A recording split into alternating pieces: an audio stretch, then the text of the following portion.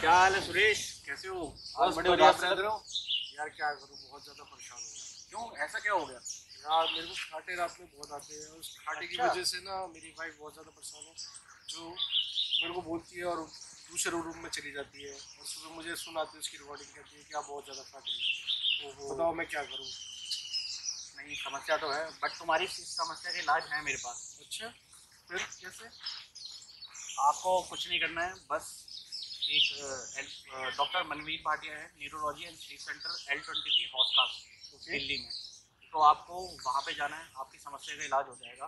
और अगर आप ऐसे नहीं जा पा रहे हैं वहाँ पे तो आप इनकी वेबसाइट भी न्यूरोलॉजी एंड स्लीप सेंटर करके वेबसाइट है इनकी। आप इस पर भी जा सकते हैं आपको ईजिली अपॉइंटमेंट मिल जाएगी।